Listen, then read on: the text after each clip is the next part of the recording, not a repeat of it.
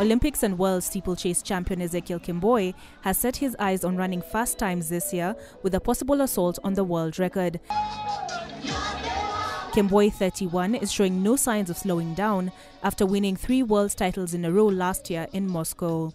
Qatari Saif Said Shaheen's 7 minutes 53.63 seconds world record, run in 2004, is the next hurdle he wants to jump over to cement his status as the best steeplechaser of all time. I'm still doing my loading, my training to my stamina.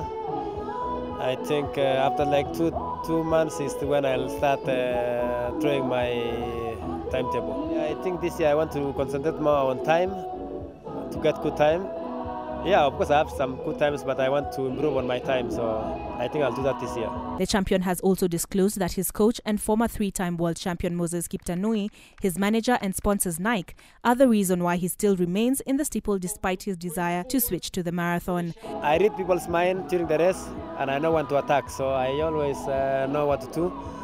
Uh, when we are in the race, I always do my own uh, calculations, and I always use my simple mathematics to conquer the race. And uh, what would you want uh, people to remember Kemboi by? As a simple Kenyan. What is a simple what Kenyan? Is, yeah. no, simple, simple Kenyan is a, a, man of the people. Yeah. And you're, you're man of the people? people? Yeah. What, what, do you think makes you a man of the people? Because I associate with everybody in Kenyan, whether rich or poor, high class or low class. Yeah.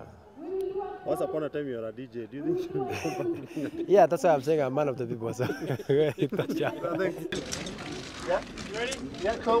Kemboi's personal best in the race is 7 minutes 55.76 seconds. On behalf of Mutwiri Mutuota in Iten, I'm Olive Burrows for Capital TV.